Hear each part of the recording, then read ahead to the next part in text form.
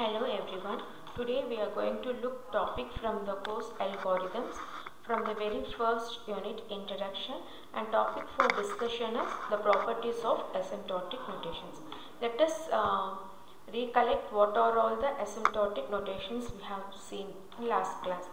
To represent the best case analysis of an algorithm we will use omega and to represent worst case we will use big O and for the average case we will be using theta notation. So um, let us discuss the important properties. Transitivity, symmetry and reflexivity are the important properties for your asymptotic notations. What do you mean by transitivity? In general we know what is transitivity. If A implies B and B implies uh, C, we, we, we, we believe that A implies C, right? That is your transitivity property. In this case, if we say that function f of n is said to be in order of g of n, then and g of n is said to be in order of h of n, then f of n is said to be in order of h of n. That is your transitivity. And this property holds for your uh, not only for your big O, it also holds for your theta and omega notations. Now getting to your symmetry, if we say f of n is said to be in uh, theta of g of n, if and only if g of n is in theta of f of n, right? Reflexivity is nothing but um, if we say f of n is said to be in theta of f of n, it is hold for all the notations. In simple, a function is always bounded by itself. The key point is non-negativity. Your asymptotic notation deals with non-negative functions alone. We will see, to demonstrate your property, we will see an example where we explore transitivity property.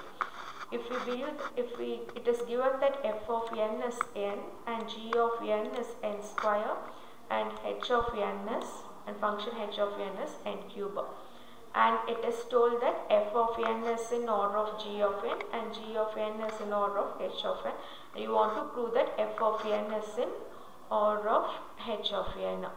Mm. by definition of the big O we already know there should be two positive constants c and n naught right?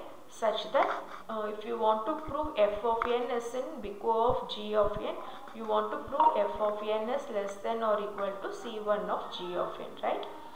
And in the same way if you want to prove that g of n is in order of h of n you want to prove g of n is less than or equal to some constant c2 into h of n. And this is applicable for certain after certain point where of n naught right? That is will be your starting point and we always believe this n naught will be um, greater than or equal to your n. Now, my case is I want to prove that f of n is less than or equal to h of n. So, here I replace the constant c is nothing but c1 into c2. In simple words, I can say that n is less than or equal to your n cube. So other important observations are if I can say that f of fun uh, function f of n is equal to big O of function g of n implies that g of n is equal to big O of function f of n. And if there are two functions f of n and g of n then their addition is equal to theta of minimum of your function g of n and f of n and if f of n is equal to big O of g of n it implies that logarithmic of function f of n is equal to big O of logarithmic of function g of n where this function logarithmic of g of n should be greater than or equal to 1 and f of n should be greater than or equal to 1 for all large values of n.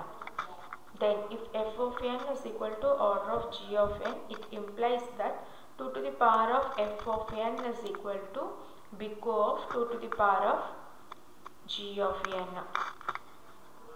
and function f of n is equal to big O of the function f of n the whole square. Then f of n is equal to order of g of n implies that g of n is equal to omega of f of n function f of n. And function f of n is equal to theta of function of n by 2 we know no for the average case. So these are all the other important observations other than your properties. These are the materials referred for the preparation of the slides. Thank you